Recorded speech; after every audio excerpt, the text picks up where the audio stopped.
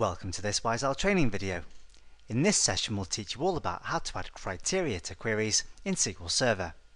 To do that, we'll teach you about the where clause. We'll begin by looking at how to add criteria involving numbers, including how to find numbers that fall within a certain range. We'll then move on to talk to you about text criteria, including how to use wildcard characters to find pattern matches. The last data type we'll look at will involve dates, and we'll mention a few things to do with difficulties involving date formats. And finally, we'll talk to you about how to add AND and OR operators to combine criteria together. So let's get started. Now if you want to add criteria to a query, you need to include a where clause, and that always comes in after from but before order by. So let me add in the word where, right there, and now I can start adding my criteria. Now probably the easiest type of data to work with in the where clause uh, is number data. So what I've got here is a list of all of my films, including their running time in minutes. And to begin with, let's do a nice simple criteria. I want to ask for all the films where the runtime in minutes is exactly equal to 120. And it's as simple as that. You have the field name, the operator, which in this case is an equal sign, and then the value I'm interested in, which in this case is 120.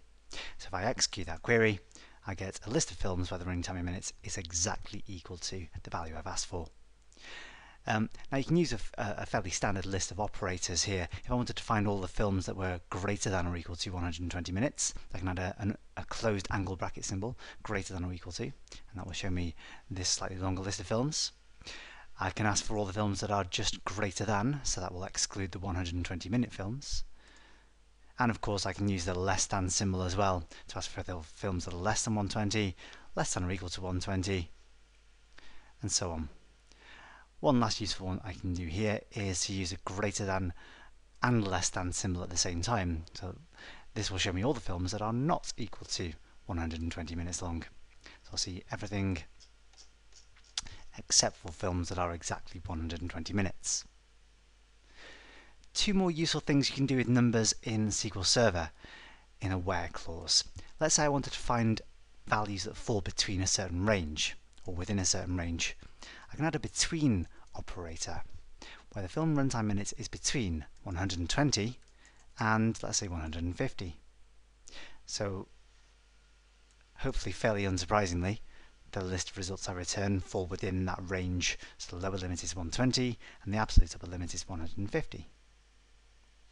And the last useful thing that you can do in SQL Server is to find a list of precise values. So I'm going to use an in operator to do this. So show me films where the running time in minutes falls in this list. Now you add the list inside a set of round brackets, separated by commas, and very precisely I'm going to look for that range of four numbers. So if I execute this query, the results I return are either exactly 90, exactly 120, 150 or 180. So those are the basic criteria you can work with when using numbers. The next data type we're going to look at in criteria is text data. So to begin with, I'm going to add a where clause to my query again. And to begin with, I'll ask for SQL Server to show me a film with a specific name. So I'm going to ask for where the film name is equal to. Now one slight difference with text compared to numbers is that you have to enclose text in a set of single quotes. So I've opened and closed mine and then gone back one space to type in my film name. I'm going to ask to show me the film Die Hard. It's case insensitive, it doesn't matter if you use all caps or lowercase text or a combination of the two. When I execute this query, SQL Server will show me any films where the spelling is as I've typed it in. So far so good. So searching for a specific piece of text is relatively straightforward, but what if I want to do something more complex? I want to find any films that have the word Die Hard in their title. There's two changes I need to make to my criteria. First of all, I need to change the equals sign into the word like. Now it's worthwhile noting that like can be used in place of an equals sign when you're looking for text. If I execute this query again, I'll see exactly the same result. Like operator becomes hmm. more useful when you combine it with what are called wildcard characters. So I'm going to add a single wildcard character, this time the percentage symbol. Now the percentage symbol represents any number of any characters. So what this is searching for basically is any films that start with the word Die Hard, followed by anything else. If I execute that query, I'll get three. The original Die Hard, because a percentage symbol can represent no text at all, followed by Die Hard 2 and Die Hard with a Vengeance. I can add extra percentage symbols in there as well. If I one at the start, this will now find for me any films that include the word Die Hard anywhere in their title. So if I execute that query, I get four Die Hard films. Now there's one other useful wildcard character you can use as well as the percentage symbol. So first of all to demonstrate this I'm going to change my criteria to look for the film Lethal Weapon and when I run that query I get the single film. If I added a percentage symbol to the end of Lethal Weapon and execute that, I get all four Lethal Weapon films. I'm going to change the percentage symbol again now, and I'm going to replace it with two, one, two, underscore characters. If I execute this query, what you should see is that the film Lethal Weapon disappears.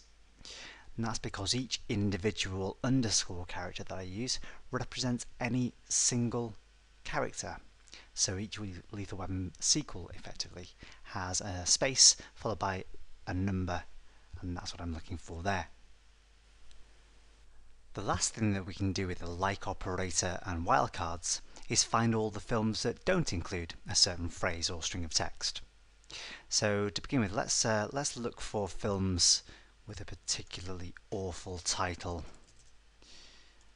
There's one. If I execute this query, I'll get three horrific films that I want to exclude from all my future results. Now, if I was looking for exactly the word Twilight,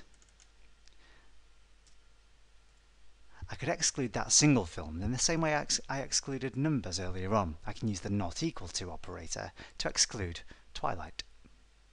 What I really want to do is exclude all of the films with the word Twilight anywhere in their title.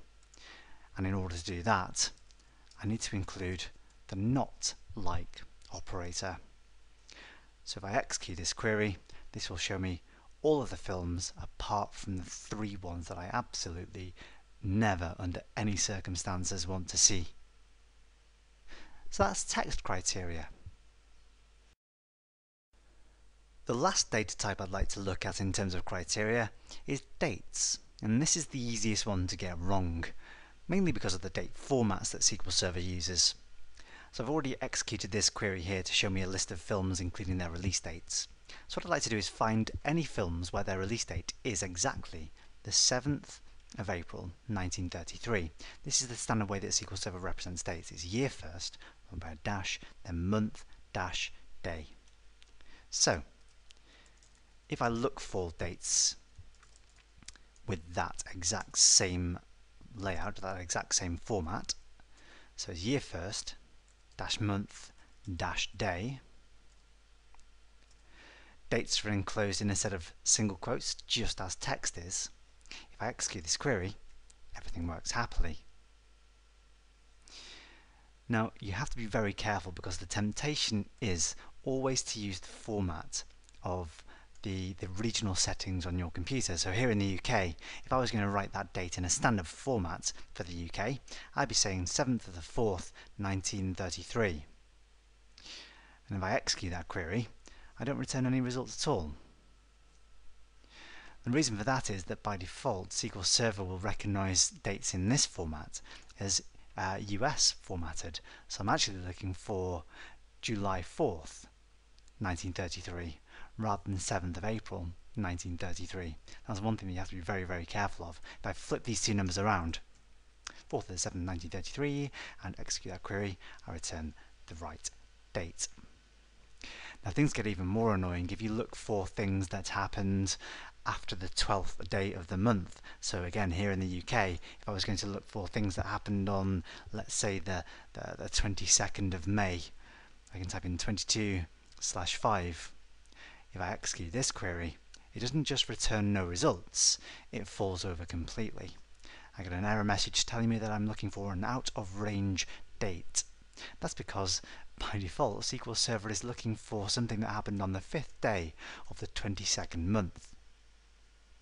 Now it takes a little bit of getting used to but I guarantee that the best way to add dates to a criteria in SQL Server is in the same way that dates are represented to you. Year, month, day with dashes separating the component parts. Okay, now that bit's out of the way with. Pretty much everything else works in exactly the same way as numbers do. So if I wanted to find, for instance, let's say I want to find all the films that were released in my database after the last day of the 20th century, so 1999-12-31. So show me all the films that were released after the 31st of December 1999. And there we go. So here I'm showing all the films since the year 2000 effectively. I can also look for films within a certain range. Uh, so I can look for dates that fall between, let's say this time, uh, 2000-01-01 and the last day of that year. So that's 2000-12-31. So this will for find for me all the films that were released in the year 2000. The last useful thing that you can do with dates is look for specific increments of time. Now this involves using a couple of useful functions. Now let's say that I wanted to find any films that were released in the month of May. What I need to do first is calculate the month of the release date. To do that there's a very handy function available called month. So if I write in the word month and then in a set of round brackets add in the film release date, I can ask whether the result of that calculation is equal to 5. And if I execute that query, this will find for me any films in the entire database that were released in the month of May. There are two very other useful and easy to remember functions as well. An alternative way to find all the films released in the year 2000 is to ask where the year of the film release date is equal to 2000. When I execute that query, that's exactly what I'll get. And last of all, there is the day function, hopefully unsurprisingly. I can look for films where the day of film release date is equal to, let's say, 22. And that gives me all the films released on the 22nd of any month.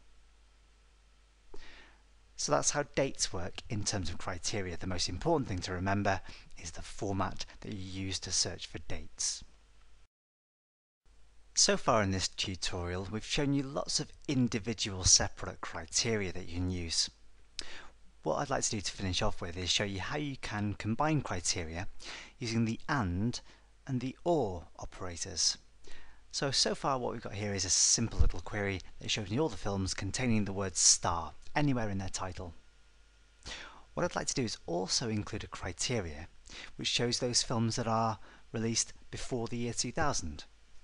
So in order to do that, I can add an AND keyword.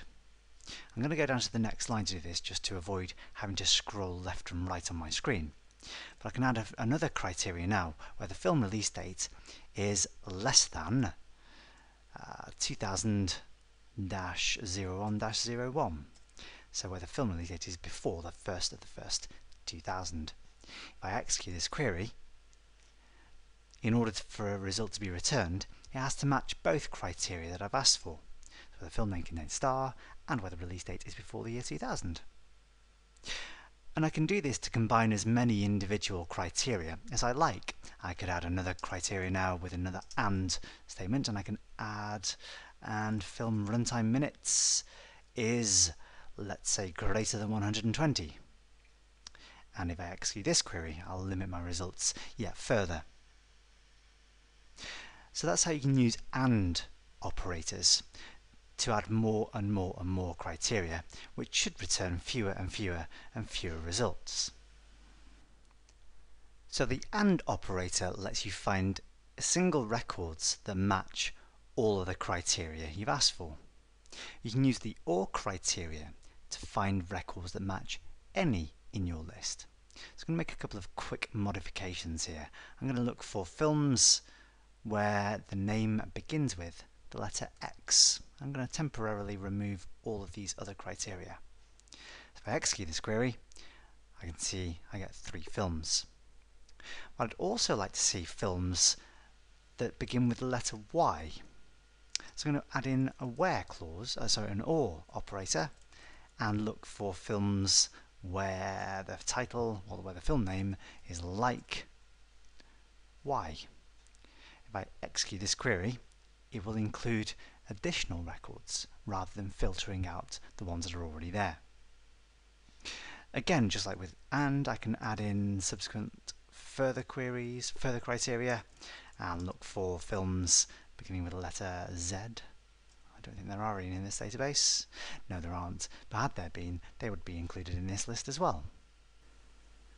The last thing worth mentioning when talking about combining criteria with AND and OR is that the use of round brackets can affect the results.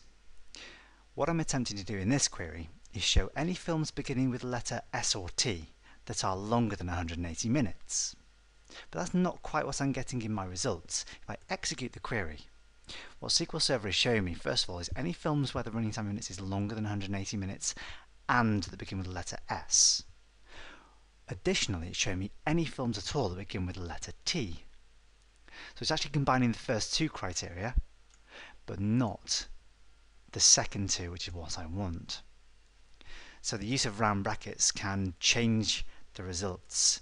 If I wrap up my second two criteria in a set of round brackets, when I execute the results now, rather than returning 55 rows, it returns just 4.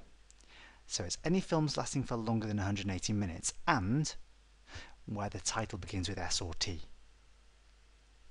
And that wraps up our tutorial on using criteria in SQL queries.